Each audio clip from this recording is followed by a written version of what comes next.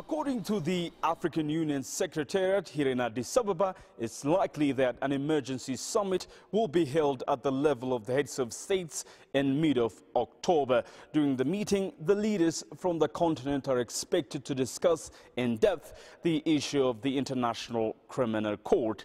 And according to some political analysts, the African Union leaders are expected to take a common stance on whether to join Kenya's planned pullout from Rome statutes from the prosecution of their leaders in the International Criminal Court.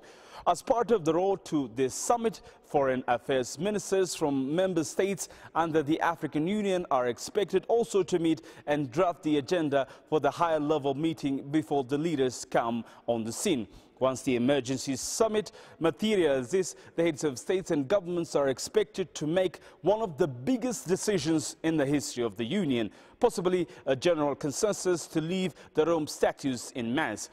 The African Union as a continental organization is not a member of the ICC. Girum Chala CCTV, Addis Ababa, Ethiopia.